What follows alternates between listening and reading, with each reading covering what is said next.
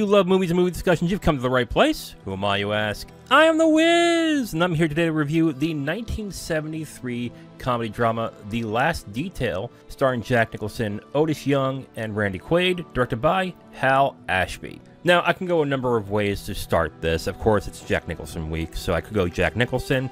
I could also go Hal Ashby, but really the only other movie I've seen of his is Harold and Maude, which I would recommend. That's a good movie. Both dark and lightly comedic. Oh, a theme that's going to happen for this one. But I want to start with Robert Towne. And Robert Towne is the screenwriter of this movie. And there's a reason why I'm going to discuss Robert Towne. If you look at Robert Towne's filmography, you probably would see a lot of good movies, some eh, movies. The thing that is very distinctive about him is one movie, and that is Chinatown. Chinatown, for the longest time, has been considered one of the best written screenplays of all time. I think some would debate it's Casablanca, others would probably debate it's uh, another movie entirely, but it's usually either Casablanca or it's Chinatown. So much so that a lot of screenwriting courses, a lot of classes that do screenwriting, use that as an example of incredible screenwriting.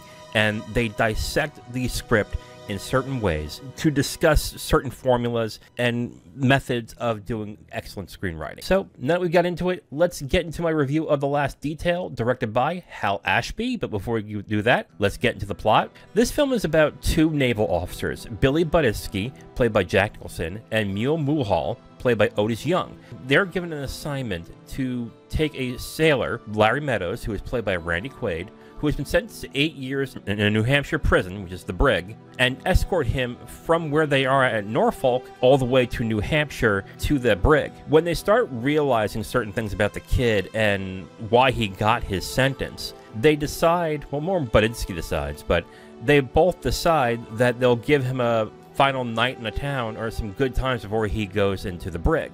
All right, so we got into the plot, so let's get into my three points. And my first point is this is a warm character study set in dank, grim settings.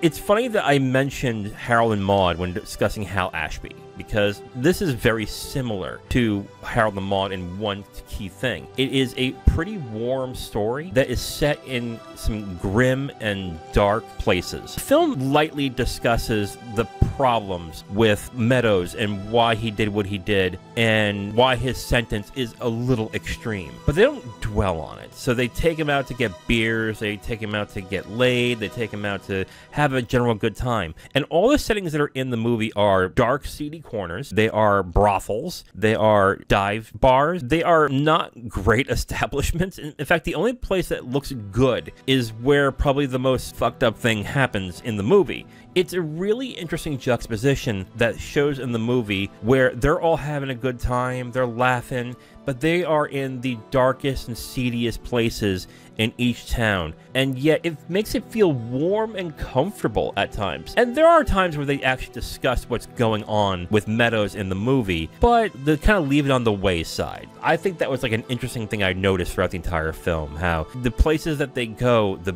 the nice looking places are where the most screwed up stuff happens, but the warm stuff that happens are in dank, dark, seedy places where in most movies they would look at as bad places. And my second point straddles the line between comedy and drama evenly, though should have lean drama. This film does a pretty good job of keeping it even keeled throughout, where they go from a bit of drama here to then a bit of comedy, and it kind of evenly points out. And I think a lot of people like this about this movie, and I do understand why. My issue is I kind of wanted more to do with the kid and with how he is feeling and how screwed up the situation is. And they do talk about it here and there, and they do discuss it and show it throughout the entire movie. But I think they should have leaned a little bit more into it. I was expecting a little more of an emotional heft when it came to that aspect of the movie. Does it necessarily make it bad? No, but it's kind of a disappointing thing in the movie. I will probably get to why they probably didn't do that and the argument that maybe some would take with this viewpoint. But what I will say is I was expecting a little more emotion from this movie that just wasn't there, and I found it a little disappointing, though it's not necessarily bad.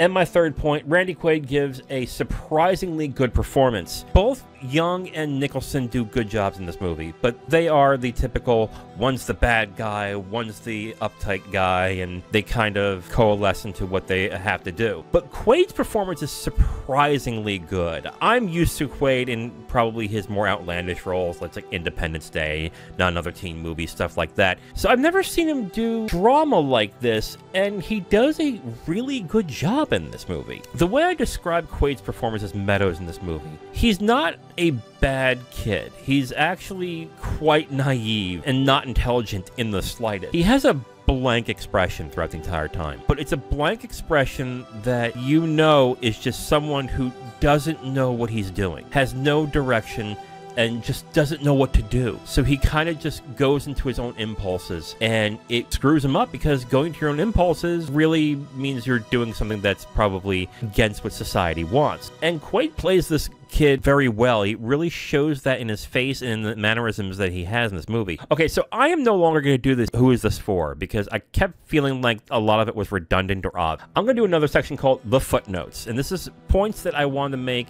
that I couldn't do on my three points. And my first footnote is how many films have been inspired by The Last Detail? When I watched the film, it reminded me of a lot of high school, college movies where the popular, cool kid feels bad for the nerdy outcast. He's like, let me show you the ropes, young man. And, and that's kind of how it feels in this movie. And I really wondered, there's probably movies that did this before. I, I will say that. But I really wonder if there's a lot of movies in the 80s and 90s that took the last detail and go, you know, let's take away this army thing and let's just make it about that kind of relationship and see how much that uh, has inspired a lot of movies. I really wonder if there's other movies that really looked at this movie and went, huh, I could do that, but in this setting. And the other footnote I want to talk about is male bond. I think a number of people are going to find my second point a little off base, is because what I'm asking for is not what men do when they bond. They do stupid shit. They're very simple. They are emotionally adept people,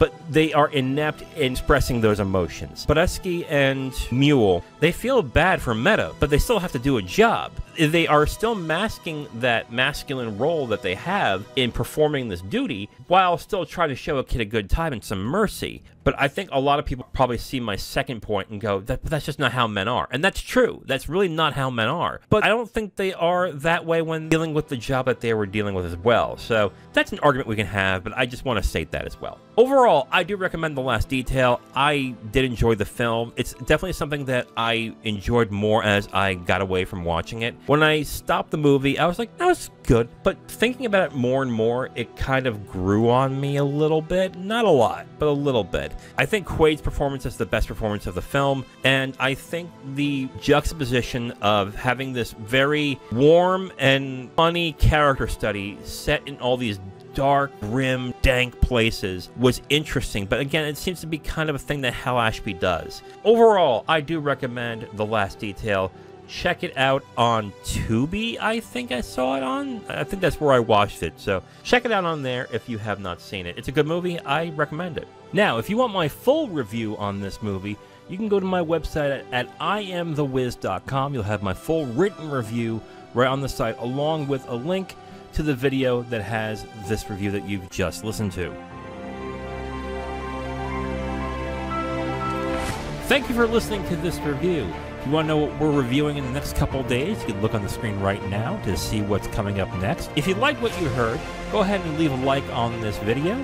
If you want to discuss your opinion on the film or the review itself, please leave a comment. And if you want to hear more, subscribe to the channel. Thank you again for listening. I will talk to you next time.